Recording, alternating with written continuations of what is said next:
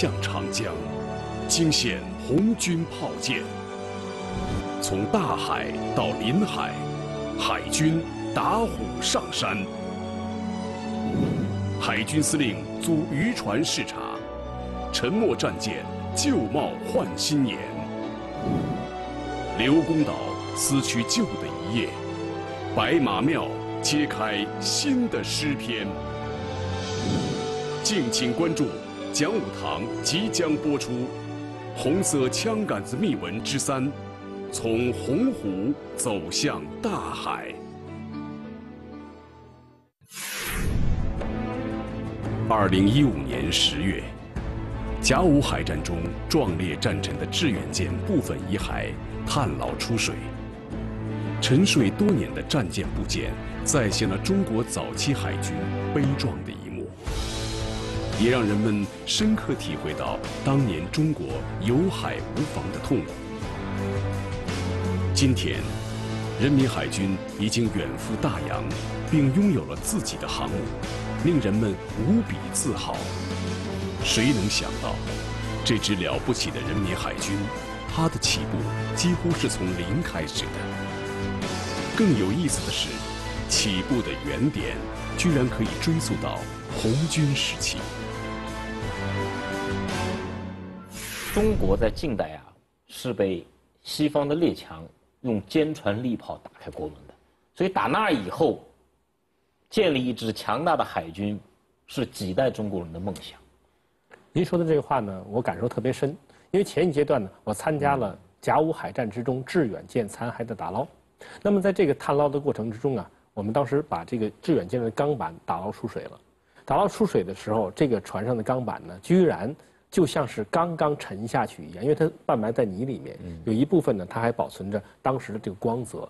出水时候我们都很吃惊，哇！我说这个好像就是去年刚刚沉下去的一样。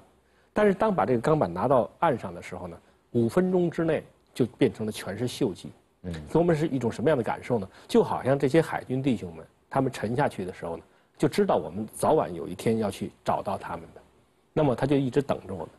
等着我们，他出水的时候让我们看一看，当年他们是怎么样在这场国运之战之中沉下去的。现在呢，就是让我们看完之后，五分钟之内，就好像一个人在你面前刷一下就老了。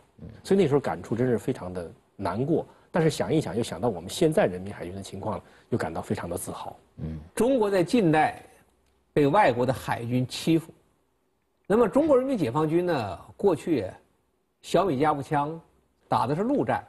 其实也总被敌人的海军欺负，因此这个中国人，再加上我们中国人民解放军从创建开始，尽管当时条件很落后，因为近代海军呢，它都是近代工业和科技的结晶，那个时候中国确实没有这个条件，但是呢，当年的中国人也就有海军梦。嗯，中国人民解放军在创建初期，也憧憬将来能够建立一支自己的海军。我们前两期节目聊过，我们的陆军、我们的空军相对来说都是比较早的，但是海军好像呢，呃，人民军队呃在发展的过程中，考虑到我们要真正的动手去建设海军，这个是比较晚的。但是我们的党员介入到国民党的这个海军系统还是比较早的，可以上溯到大名鼎鼎的李志龙，而且李志龙当时在国民党海军系统里面这个地位是非常高的。先是当了海军少将，最后又当了当了这个海军中将，他可能是当时我们共产党员在国民党这个军队系统里面军衔最高的一个。李自龙呢，他这个人的这个经历也比较奇特，他早年呢就是这个烟台海军学学校的学员，因为海军嘛，军官他必须有专业培训。嗯。另外呢，他参加中国人党员非常早，他是一九二一年的党员。嗯，就中国党建党的时候，他就是最早的一批党员之一。他在当年这个地位已经是很高了，因为他英文也很好。烟台海啸是用英语来教学的。嗯，说广东当年这个聘请苏联顾问包罗廷来，他给苏联顾问包罗廷当翻译。后来呢，他为了这个丰富陆军知识，又上了黄埔军校第一期。嗯，可以说呢。他这个军校其实进的是很多的。嗯，我们说能文能武，他是能陆能海。但这件事可能也引起了蒋介石对他的一些疑忌，因为本来蒋介石很喜欢这个学生的，后来等他当到了海军局代理局的局长的时候，这时候就觉得有点担心了。接着这个时候呢，蒋介石又是跟苏联顾问之间矛盾很深，他就开始有一个什么担心呢？说会不会李之龙啊，用他这中山舰准备把我挟持了送到呃海参崴去，就把我给送到苏联去，然后这边夺权，他就有这么一个怀疑，以至于后来引发中山舰事件。嗯。李之龙虽然一度身为海军中将，并以代理局长身份执掌海军局，但是不久之后就因中山舰事件被关押。共产党人实际上还没有真正掌握海军军舰，就被迫回到了陆地。为什么说以陆军起家的人民军队在创建之初就体会到了海军的重要性？站在岸上的共产党人是如何扬帆起航走向大江的呢？外国记者提到的红海军到底又是怎么回事？它的创始人又是谁呢？中国共产党人是在陆战中间起家的，但是从人民军队刚创建开始，就感受到敌方啊海军的威胁。南昌起义为什么选择在南昌？最早啊，其实像李立三他们那人提议，是在九江动手，因为当时叶挺部队主要还是在九江。后来一考虑，不能在九江打，一个重要原因就是九江它三面环水，国民党那儿有海军，当然他海军主要在长江里活动了。说你在九江一打，人家有铁甲兵船，你又打不了人铁甲兵船，人家要拦截你的退路，你跑都没法跑。所以还是把这个在九江的部队调到南昌去起义。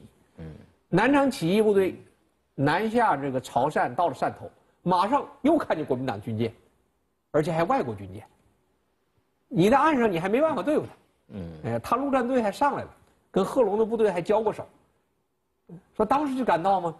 这个我们只是在旱鸭子在路上跑，人家在海上在水上追你，而且你对他那个铁壳冰船。你还一点办法都没有，嗯，尽管您是说的是当时我们对对这个铁壳冰船好像没什么办法，但是我听到您提到一个名字，提到了一个贺龙，贺龙啊很有意思。我们发现在国外记者的记载里边，曾经这么说：说贺龙当年在洪湖啊组织红军的时候，也组织了一支红海军，啊，当然这是外国人这么说的，但是说贺龙的这个红海军呢，可是有蒸汽铁甲的战舰的。严格意义上讲，这叫不了红海军，呃，那是当时这个外国人给他呃加这么一个名词。主要红军一九三零年以后在洪湖地区活动的，就是红二军团了。嗯，呃，当时呢，这个抓到了国民党一艘啊这个潜水炮舰，排水量呢也不过一百五十吨的，那是个小炮艇啊。但是有这么一个炮艇也不容易了，那就是终于有了个铁壳船了。哎，当年讲这个铁家伙，那是红军第一次得到的江上铁家伙。当时因为中国革命是以俄为师的嘛，就像第一架飞机命名为列宁号，这第一艘这个战船呢也命名为列宁号。当时这艘这个列宁号呢，就装上来讲的机枪，还装上迫击炮，哎，在这个洪湖这个以南的这个长江上去巡航，还可以拦截这个国民党的船只。而且还可以轰击这个沿岸的国民党军队。呃，说这个列宁号当时在一九三零年、三一年还发挥了挺大的作用。嗯，而且据后来贺龙回忆啊，当时他的手下还不只是一艘列宁号，他有一次提到过，嗯，当时手下有两艘舰船，但是遗憾的是呢，另一艘叫什么号我们不知道。但是可以想象，在当时的条件下，我们的红军居然有两艘这么啊小型的舰艇，而且呢。能够在长江上一度称霸，至少在在那段水域可以称霸。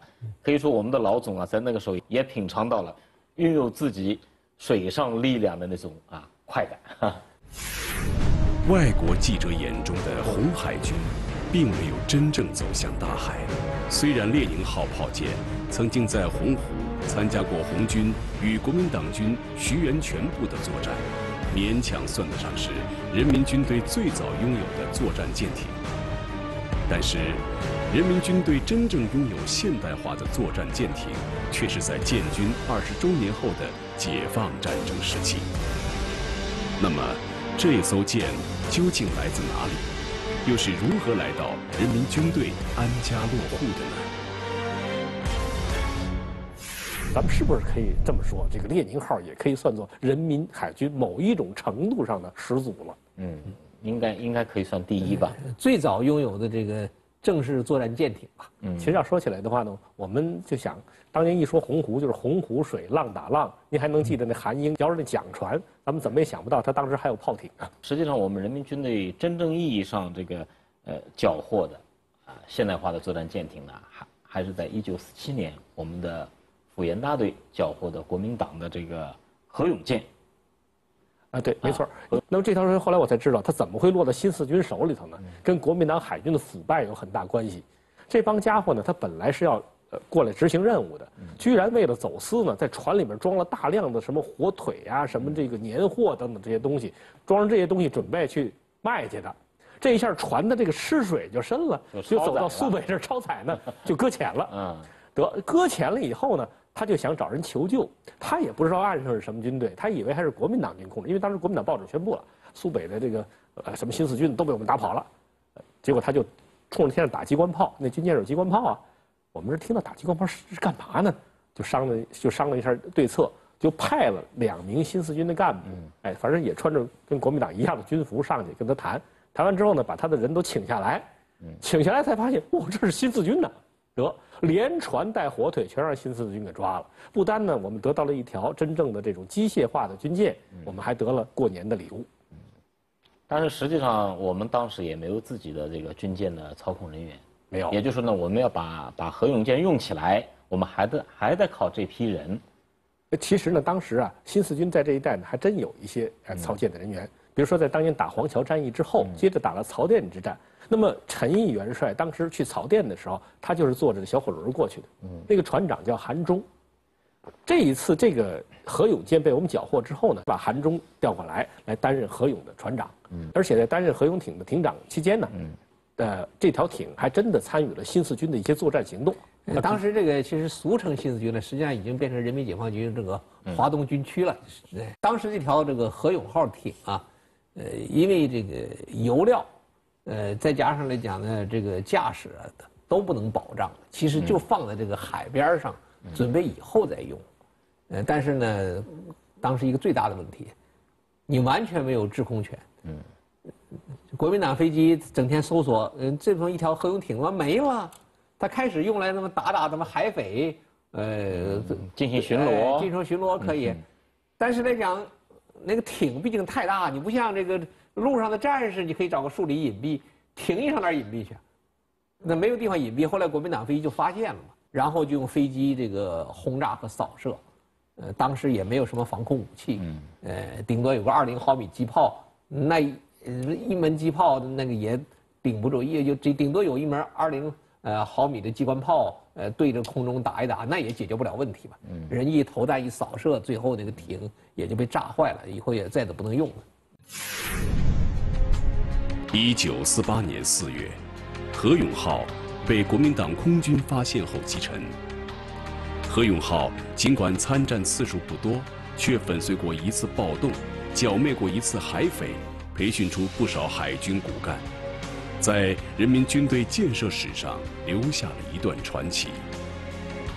不过，白手起家的人民军队从来不缺传奇。事实上，在何永浩加入人民军队之前，有一支部队已经成为人民军队中第一个拥有海军番号的部队。这就是八路军胶东军区海军支队。这支神奇的海军支队来自哪里？为什么在没有海军舰艇的情况下，还要设立这样的番号？胶州湾荡漾的碧波中。为什么看不到这支部队乘风破浪的身影？呃，有时候历史细究起来啊，特别有意思。您看，我们我们的人民海军是一九四九年成立的，但是刚才两位老师的讨论中也讲了，我们的第一艘舰艇，哎，早在一九三零年代就已经有了。我们的缴获的国民党的现代化舰艇也是在一九四七年。还有一个非常有意思的地方，就是我们人民军队中第一个带海军番号的部队，它也是在人民海军正式组建之前就已经有了。这支部队说起来呢，还要说到抗战期间，就刘公岛有一支日伪军部队，哎，战前起义了。啊，这应该呢就是一发生在一九四四年的刘公岛起义。这个起义当时影响相当大，震惊世界。刘公岛起义的这件事已经在美国旧金山的广播里都广播了，那所以这边就说：“哟，原来这个事情很大。”但当时起义者呀，并没有想到将来去干什么，因为他们只是受到这个爱国热情的这种激燃，所以呢，决定起来反抗日本人对他们的压迫。这些人呢，原来都是骗到岛上去做海军，就是做汪伪海军的这些人员。那当然，他们不愿意做汪伪的海军，不愿意做汉奸嘛。还想做中国军人，想做中国的海军来保卫海疆的，怎么办？于是他们就在刘公岛，一九四四年发动起义，杀死了日军的指导官，也干掉了几个汉奸，然后部队呢集中到了现在的这个威海卫那个栈桥，这个铁码头这个栈桥呢是当年北洋水师使用过的，所以这次起义其实我觉得就像是中国海军呢，就是当年从北洋水师的覆灭到人民海军的呃升起这之间的这么一个桥梁。那么他们就在这儿，这个有意思，就是他们当年使用的铁码头，今天人民海军还在使用呢。那么他们起义的时候呢，还抢了当时就是日军在这儿使用的三艘军舰。那么在往外走的时候呢，还碰到了就是呃日军的巡逻舰。双方擦过来的时候，这边都已经把炮位都站好了，说不行，那就开打了。就日军没想到中国人当时敢于起义，嗯，啊，就这么擦肩而过过去了。那这个部队呢，就到了烟台。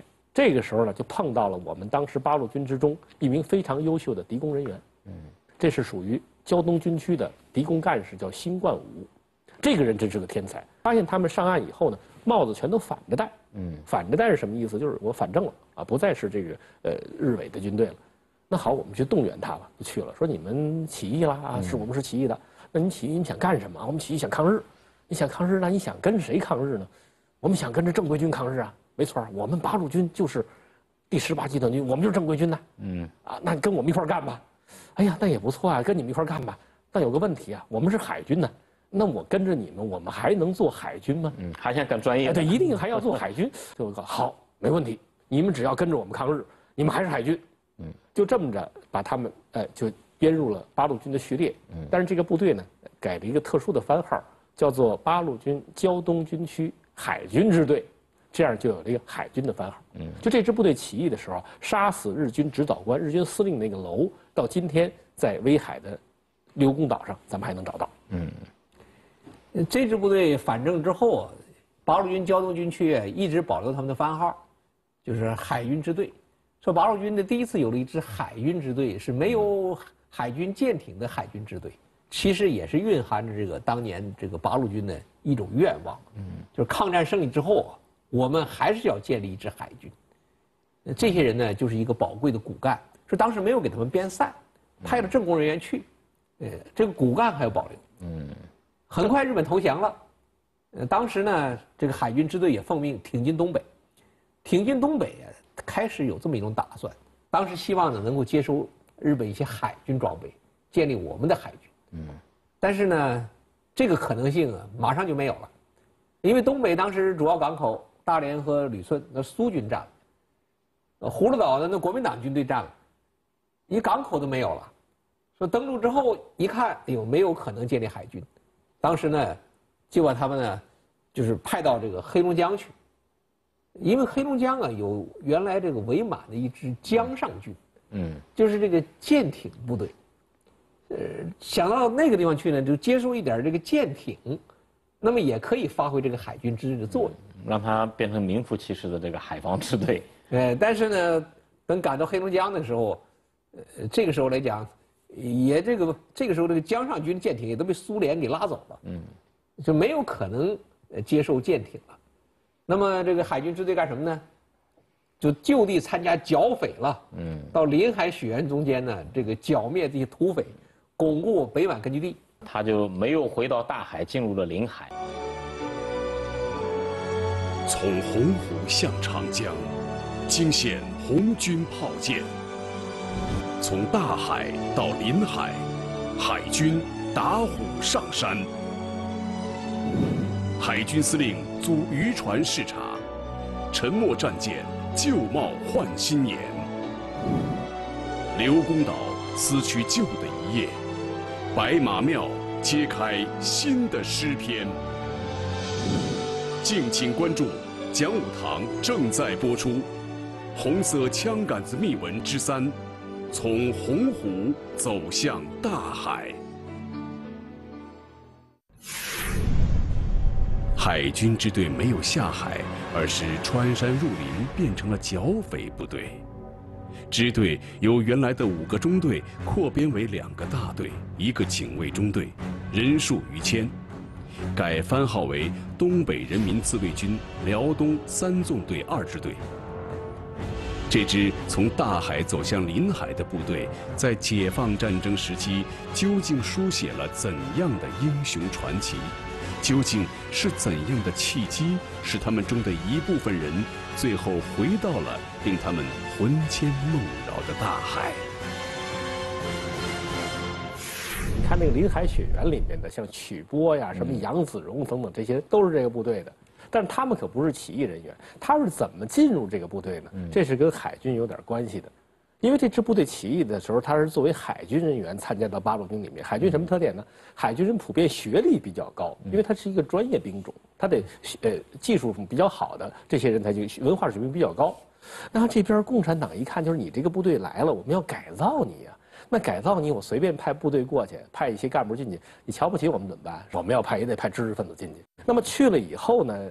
除了这些人以外呢，还招收了很多就当时适合于参军的人员，就苦大仇深的啊，能够呃反映我军特点的这样的人，招到部队里面来，让这个部队的成分呢变得更好。这里面就有杨子荣，这里面就有杨子荣，所以杨子荣实际上是这支海军支队里面的新战士。我们都没想到，杨子荣还当过海军。那么他来的时候呢，也挺有意思。我问了一些他的战友董仁堂，因为董仁堂现在就在总参三部休养。那么就问他说：“当初杨子荣是怎么跟上咱们这海军支队呃一块儿去的东北剿匪呢？”说：“嗨，别提了。说杨子荣来的时候大个儿啊，一问他要干嘛，他说：因为首先他在东北扛活扛了很多年，经验很社会经验也很丰富。他说这么大个子，我想来当机枪手的。说我们机枪手已经够了，你能不能给我们当这个呃就是那个。”炊事炊事员，背那大锅，那也得有劲。当时行军呢，还真是得找几个身强力壮的炊事员。结果他就背大锅了，成炊事员了。但是没想到，就往东北进军这一路上，他就变成侦察员了。原因是就发现呢，他这一路走，这个人特别会宣传，而且呢，跟社会上各种各样人打交道，一路上发动了三十多人参参加八路军。因为杨子荣啊，此前呢到东北就是说务工啊，就打过三年工。嗯，哎，他虽然是这个在闯荡过江湖的人，人情练达，哎，对东北情况也很熟悉，南满北满他都跑过，因此呢，当时就觉得这个人来讲是个出众的人才，嗯，而且跟东北这个土匪，嗯，他也打过交道，所以杨子荣真会黑话的，这个《林海雪原》里写着杨子荣会黑话，那不是编的，那真是这么回事儿。就是他的人生经历，包括他本身的天赋啊，就决定了这肯定是个优秀的侦察员。嗯，这样呢，一到东北剿匪的时候，他就有了用武之地了。嗯，这样一个一个战斗英雄、侦察英雄就冉冉升起了。另外，我们后来还注意到一个现象，就是当时海防支队北上的时候啊，并没有全部北上，他的部队是分为两部分。嗯，一部分呢是北上，成了后来临海雪原的这支部队；还有一部分是南下了。这支部队南下去哪儿了呢？最后我们才发现，就是在。一九四九年四月二十三号，嗯，白马庙成立海军华东军区的时候，这个时候啊，出现了这支部队的番号，嗯，就是当时这个海军最开始建立的时候，三个部分组成的，一部分呢是一个骑兵师的师部，嗯，一部分呢就是刚才我们说何勇号那条船他们所属那个部队苏北海防团。他们过来一部分人，还有一部分呢，就是这支海防支队的人，交通海防支队也到这儿了，留下南下那部分人。所以应该说呢，这刘公岛起义跟人民海军的建立还真有点亲戚关系。也就这部分人就一直还还。重建老本行，真正当海军去了。可是林海雪原去参加剿匪的这批人呢，应该说就留在了陆军了。嗯。但是后来我们才发现，他们里面还是有很多人最后又要返回到海军中去。嗯嗯。因为呢，一九四九年春天以后嘛，这个全国快要解放了，毛泽东在一九四九年的这个党的工作任务和部署中间就提出嘛，争取在年内建成一支能够使用的空军和海军。嗯。所以，一九四九年年初就开始提出建设海军的任务。那当时华东军区和这个华东野战军还没这个条件，那么只有东北军区想办法了。东北军区呢，这个时候在安东就建立最早的海校。嗯，教员什么人呢？那很大程度上又得找刘公岛起义这些人嘛。呃，因此这些人呢又回到他们的本行。全国解放前夕，华东野战军奉中央军委命令，成立了海军教导队，调原刘公岛、龙须岛起义人员一百七十余人，参加了人民海军的战斗行列。据统计，全国第一批潜艇部队有四艘潜艇，其中三名艇长、一名艇政委是刘公岛起义的。第一批出国参加艇长班学习的八名学员中，有四名是刘公岛起义的。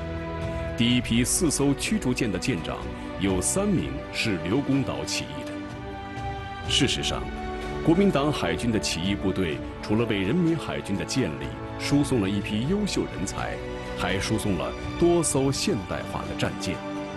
那么，究竟是哪几艘战舰从黑暗走向了光明？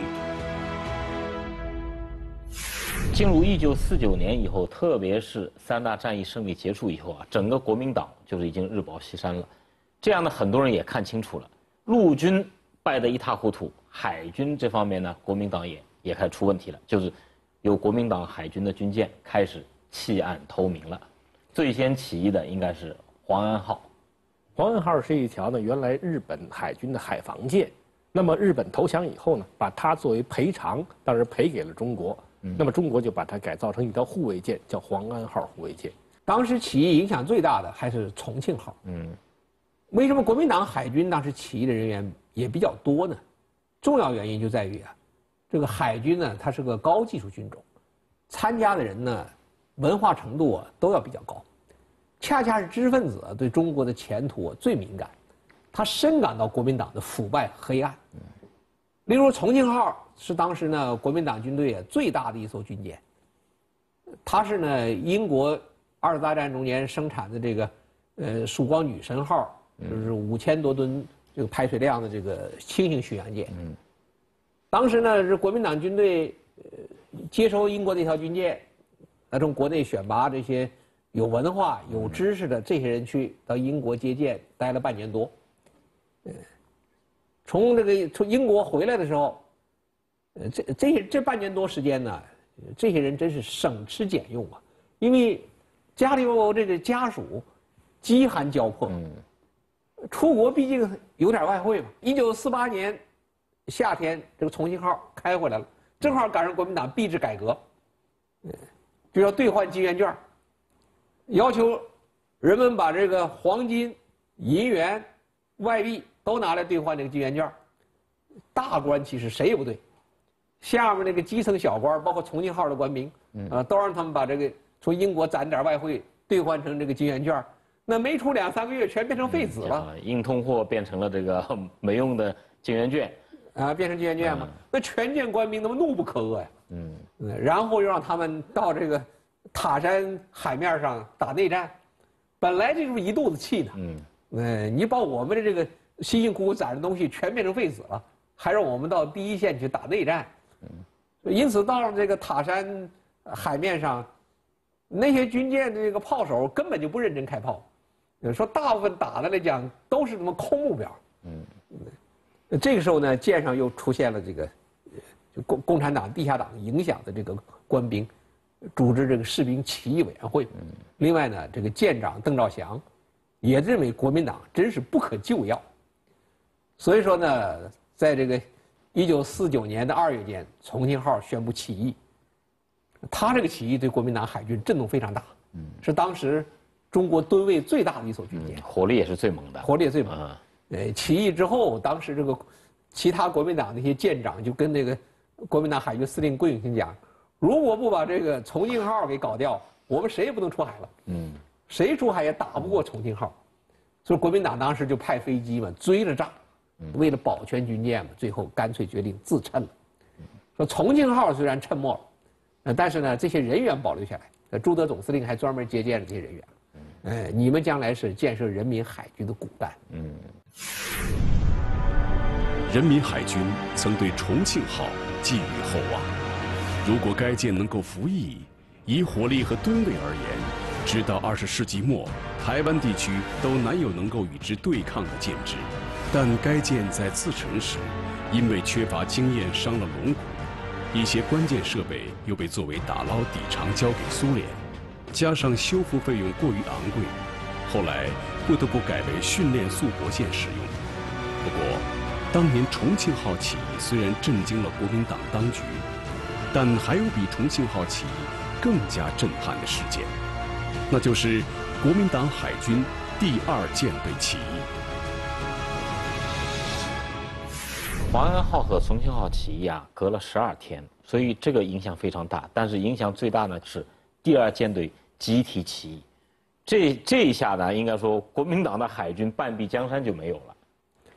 第二舰队起义呢，主要是人民解放军的百万雄师过大江的结果。四月二十一日嘛，毛主席、朱总司令发布向全国进军的命令，当时形容嘛，这个是个万炮齐鸣，是万船齐发呀，呃，百万大军横渡长江。另外拿下了这个长江出海口那个江阴要塞，嗯，江阴要塞它是有炮台的，在南京这个国民党江面上的军舰，你跑都跑不了了。桂永清走的时候要求嘛，你们谁冲出长江口，官升一级。当时谁也不肯跑，一个是对桂桂永清反感，再一个来讲也跑不出去，因为解放军已经占领了江阴炮台，你再往上跑，往武汉跑。嗯，那也是，那没用，没用啊！你你还是要落在我们的手里。对，再跑也没用。当时这个第二舰队司令林遵呢，才有爱国思想。嗯嗯，受到地下党的这个宣传影响。而且这一段应该是比较传奇的。当时我们是让林遵的同窗好友，也是国民党的少将，让他出面呢做这个林遵的工作，发动起义。这次动员林遵起义的郭寿生少将。他就是烟台最早的三个共产党之一。嗯，另外还有一个共产党呢，也做到了国民党海军少将，是曾万里少将，在抗日战争中呢以身殉国了。嗯，但是呃，郭寿生是一直潜伏，到这个时候开始动员。是我们部下的冷子，是我们部部下的冷子。嗯，那么林遵呢，确实是有爱国精神的，因为我们现在一说到中国的南海，那么就要说到西沙群岛和南沙群岛。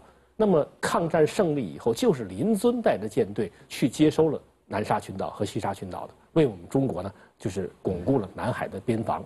所以他回到国内之后呢，对这种就是国民党方面这种内战的事情呢，非常反感。嗯，这时候他本身也有起义的想法，再加上刚才徐燕将军讲，江阴炮台已经起义了，他根本冲不下来，所以最后呢，促成了第二舰队的起义。那这时候呢，我们应该说呢，还有一条军舰蛮传奇的。说说他的经历，就能让我们知道共产党最初的这些军舰到底都是一个什么样的状态。嗯，这条军舰。呃，我们很多人都看到过他，在哪儿看到过他呢？不知道大家有没有看过一部电影叫《甲午风云》？嗯，《甲午风云》里面，邓世昌站在军舰上指挥炮击日舰。那我们肯定知道，他身上他坐的这条军舰呢，肯定是不可能是当年北洋水师的战舰。这条船是哪条船？这条船是人民海军的一条炮舰，名叫延安号。嗯，但是延安号本身并不是就是人民海军一开始使用这条船，不是我们自己建造，它的前身。呃，叫做永济号，这永济号是哪来的呢？清朝末年建造的，清朝末年建造的这么一条军舰，在国民党海军中使用，使用了之后，到抗战时期，在湖北的新堤，这条船中弹沉没，沉没之后呢，当时国民党方面在船上放了一把火，把它烧毁了。没想到呢，日本人看到这条船以后呢，觉得这船还可以用，又把它修复了，在汪伪海军中使用。那等到抗战胜利之后呢，又把这条船又交还给国民党海军，又在使用。那这条船呢，就编入了第二舰队。林遵率第二舰队起义的时候啊，这条永济号舰军舰的舰长不想跟着走，他就往下游跑。他往下游跑，就是呃，徐彦将军刚才讲到的那个江阴炮台，就开始跟他进行炮战。那结果一下就把他给打沉了，就沉在了江里。就这么一条清朝末年的军舰，又被打沉过两回。居然我们人民海军呢还得把它打捞起来使用，因为我们实在太缺军舰了。那么把它使用到什么时候呢？一直使用到七十年代。那么最后退役的时候，总算有一个光彩的结尾，就是充当了《甲午风云》里边邓世昌的这条军舰。那当然最后它还有一个更光辉的结尾，它是我们人民海军呢试验舰队呃那个地对舰导弹的时候，那个靶舰，我们的地对舰导弹第一次打中军舰就打中的是它。最后证明了我们的海防确实有这个导弹的力量。当时第二舰队起义以后啊，投奔到人民怀抱的那些舰艇，很多都有刚才您说的，哎，被打沉以后再捞上来重新使用的这么一个经历。在第二舰队起义的当天，就是一九四九年四月二十三日，当时中央军委得知了这个国民党第二舰队起义的消息，非常高兴，觉得建立人民海军呢，终于有了基础了。有了这么一支舰队了，马上决定呢成立华东军区海军，由张爱萍呢担任司令员。四月二十三日这一天呢，后来就成为人民海军呢就是正式建立的纪念日。但是呢，当时建立了华东海军呢，司令员是张爱萍，但张爱萍讲嘛，呃，我名为海军司令啊，实为空军司令。什么叫空军呢？空空如也。呃，第二舰队虽然全部起义了，国民党飞机马上来轰炸。嗯，一个星期之内，把那九艘军舰基本都炸沉了。呃，没有炸沉的也只好自沉了。呃，等于说是，呃，海军刚刚建设起步，接着这个军舰又没了，那怎么办呢？那只有白手起家。呃，先集中人员培训，然后呢再建设人民海军。人民海军的创建是典型的筚路蓝缕、白手起家，因此许多举措看似传奇，实际上却是无奈之举。有谁知道海军的创建之地不在海滨城市的真正原因？有谁知道海军司令员雇佣渔船视察部队的背后隐含着怎样的辛酸和无奈？有谁知道沉船利炮的建设方针？体现了人民海军创建者怎样的创新思维？又有谁知道，新中国开国大典的阅兵式上，海军方队走在最前列，寄托着共和国缔造者们怎样的期盼和希望？实际上，我们现在想起来很有意思啊。按说你要建立人民海军，你总得找一个靠海的地方吧。你比如说到哪怕到上海去，嗯，成立人民海军也可以。他当时就直接在这个江苏泰州白马庙就成立了。也就是说呢，实际上这是个是个历史的偶然，因为当时粟裕他们接到中央这个电报呢，他就是在白马庙附近，那当天就开会决定成立，哎，华东军区海军。最初这个海军司令部里头啊，只有十三个人，嗯，所以呢，就是真是空空如也，开始白手起家建海军。但这个情况不仅仅是华东海军如此，中央这边办海军也是如此。我们的第一任海军司令员萧劲光大将，他就当时曾经有过这样一个描述，就是他成为海军司令员以后，那要视察海军基地呀，刘公岛，这是典型的一个海军基地，当初北洋水师的母港嘛，他到那儿去。但是刘公岛这个地方是在海上啊，那海军司令去，你得坐船呢，他坐什么船去的呢？萧劲光大将后来回忆说是坐渔船去的，好像是有这么回事儿。那么他坐渔船过去以后呢，上了岛以后很受刺激，他就很生气，就下令呢，就部下记录这么一条，嗯，就是中国人民海军的司令啊，萧劲光到刘公岛乘渔船前来视察。他是受那于老大刺激，于老大说一看一看说这个萧司令萧司令说你什么司令啊？我说海军司令，人家就奇怪了，你海军司令不做自己的军舰，啊，不做自己的巡逻艇，你还租我的渔船？这可能也是世界海军史上，啊，独一无二的事件。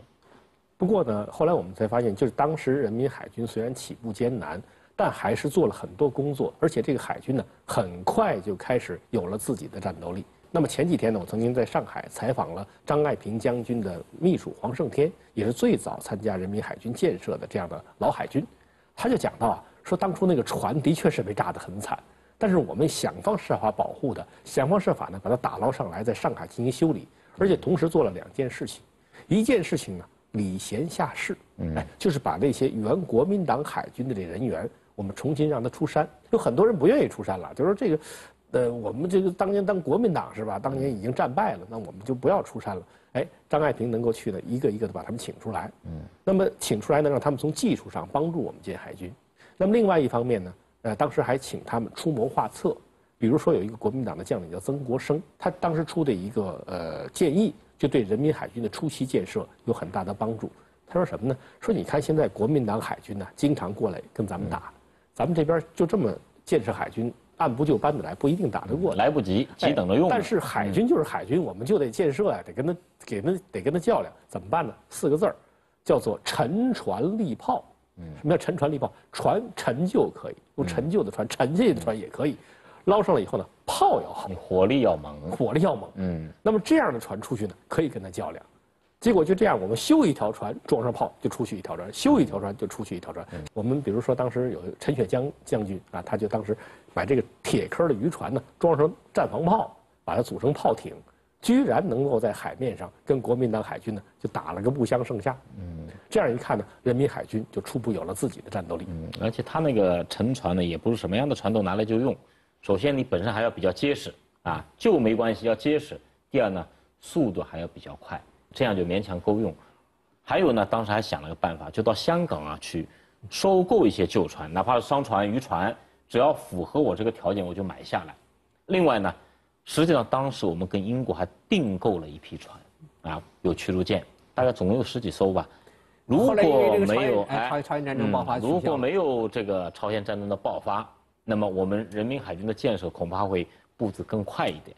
问题是，朝鲜内战一爆发，英国马上就取消订单，这样呢，我们还要继续用那些旧舰。尽管是这种情况呢，但是我们可以感到当时的国家领导人对于海军还是相当重视的。嗯，现在如果咱们到海军的部队去看的话，经常能看到在呃他们的墙上面会有一条语录，就是当初毛泽东主席所写的：“我们一定要建立一支强大的海军。”嗯，但是我想啊，一定不是呃毛泽东主席去海军舰队视察的时候才有这个思想。嗯，在一九五零年的时候，当时海军初创的一批人员就曾经到中南海去见过毛主席。也是他第一次接见海军的这些初创人员，啊，包括张爱萍啊，呃，曾国生、林尊等等这些人员。那么我也曾经采访过黄胜天，他就参加了这个会见。嗯，他说当时这个会见呢，挺有挺特别的。啊，首先当时主席呢对海军期望很深，另外有一点呢，说在我们这些人里边有一个人很特别。我后来看那照片，的确是挺特别，就在一群这个共产党人的中间呢。出现了一个穿着国民党海军制服的人，嗯，哎，我说这个怎么可能去见毛主席呢？这个人怎么这么这么这这太不尊重我们了？说不是，说他这个人，这个人叫徐实甫，是国民党的一个海军中将。那么他当时已经出来为共产党工作了，他也确实想为共产党工作。那他为什么要穿一身海军的国民党海军军服呢？就是因为他有海军的这种荣誉感。他说我是干了一辈子海军的人，那现在我们的海军虽然成立了，但是我还没有海军的制服。哎呀，我要去见毛主席，我最崇敬的人，那我怎么能穿着陆军的制服去见？我一定要穿一个海军制服去见。嗯，但是我只有国民党的海军制服，哎，就把上面所有的这种跟国民党有关的章啊什么全摘掉了，穿着一个没有任何标记的海军制服去见了毛主席。嗯，我看到那张照片，其实我挺感动的。怎么感动？就是你看到有很多人他在照片里边真的不是海军出身的，但是呢，都在兢兢业业的为这个海军的建设在努力。而且呢，我们看到这个穿着一身陈旧海军制服的这徐师傅的时候呢，就感到中国海军人他们想保卫国家海防的这种灵魂，并没有因为军舰的消失而断掉。嗯，中国共产党人在新中国建立之时对海军就非常重视，这一点呢也体现在开国大典中。开国大典的时候啊，其实当时空军、海军司令部还都没有成立，空军呢有了这么一个飞行中队在南园。保卫首都上空，海军战斗部队当时还等于没有，但是呢，开国大典时候决定嘛，走在最前面的是海军方队，那当时没有海军怎么办呢？只好从大连海军学校调了二十多个人走在最前头，呃，表示有了海军嘛。因此，开国大典走在最前面那个方队就是海军方队。开国大典结束之后，朱德总司令讲嘛，我现在真正成了陆海空三军的总司令。说到海军呢，其实有一个人我一直在注意他，就是当年刘公岛起义，后来又去临海雪原剿匪的一代剿匪英雄。嗯，这个人就是咱们临海雪原所说的坦克刘勋仓。后来我才知道，这个人的真名叫刘运仓。他呢，虽然后来是当了陆军，而且是陆军的战斗英雄，嗯，但是始终没有忘记自己的海军梦。嗯，所以到最后呢，他还是选择了再重新回到海军去。去了哪儿呢？去了南海舰队。那么我看到的是什么样的一个刘运仓呢？刘运仓在海军中最后一张照片，他当时快要退役了，快要退役的时候身穿海军制服，做了一个很奇怪的动作，他的手呢放在这儿，这么照的相，就把两个手指隐藏在里面，这样照的。那么看到这张照片的时候呢，我们能看到海军的传统，因为照这样的照片呢，是全世界的海军一致的一个动作。什么意思？向海军的军神纳尔逊致敬，就是向这种勇猛无畏的精神致敬。因为纳尔逊呢，在战争中打断了手指，所以他实际上这么做，他这往这儿一放手的时候呢，缺两个手指头。于是全世界的海军都表示对他的致敬。那这样一看呢，就是说他最后自己还是回到了海军之中，圆了自己的海军梦。嗯，中国人民解放军呢，从一九二七年正式建军，到一九四九年，呃，是在陆战中起家。但是呢，始终有着海军梦和空军梦。一九四九年，新中国的成立，统一国家政权的建立，和中国工业化的开始，这就为人民解放军呢建立海军奠定了一个基础。现在我们人民海军已经是走向世界，但是呢，我们不能忘记啊，人民海军是从多么艰难的基础上起步，走过了多么不容易的创业的过程。